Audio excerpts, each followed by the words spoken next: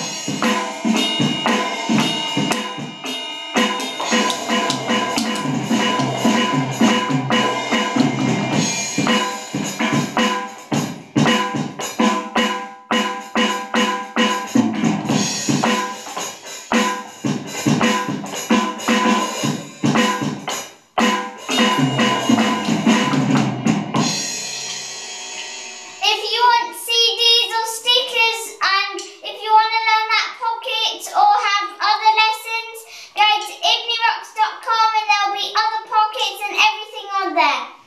I'm Ibni Rocks and that pocket was for